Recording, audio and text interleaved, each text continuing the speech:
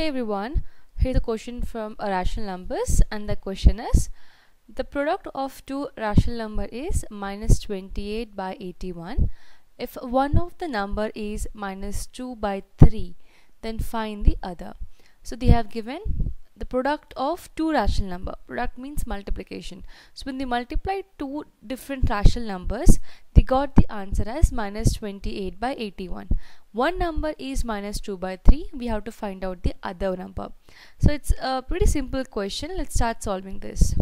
Like I said before they have multiplied two rational numbers and they have got the answer minus 28 by 81 one of the number they have given is minus 2 by 3 let us take the first number to be minus 2 by 3 we have to find out this number so I hope it's clear what we have to find out.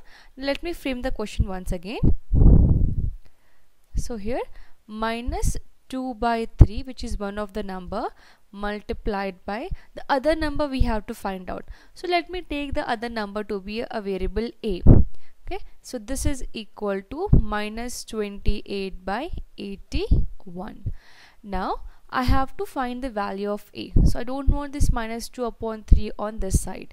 So if you see here let me just multiply this number.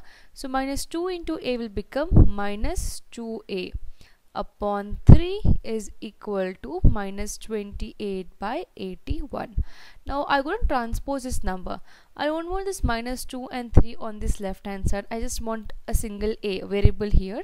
So I'm going to transpose minus 2 and 3 to the other side. So first I'm going to transpose 3 you can see that 3 is in division. It's in denominator. It's in division. So when you transpose number from division it will come into multiplication. So when transpose is 3 to the other side it comes in multiplication here. So this will become minus 2a is equal to minus 28 by 81 multiplied by 3 I'm going to just multiply this in the numerator. Now similarly minus 2 is in multiplication with a when you transpose number in multiplication to the other side it comes in division. So a will be equal to minus 28 multiplied by 3 like I said it comes in division right? So this minus 2 comes in denominator. So it will be 81 multiplied by minus 2 it comes in denominator. You can cancel the number out here I want to cancel this minus 2 and minus 28 so this is I can cancel the negative signs here.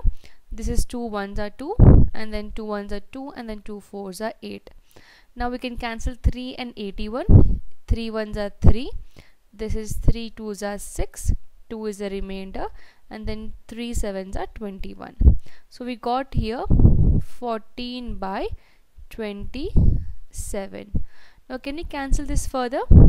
Uh, we can cancel this. No we cannot cancel this further. So that's it. So a value will be equal to so therefore a is equal to 14 by 27 the other rational number is minus so not minus it's 14 by 27 so this was pretty simple question. I hope it's clear.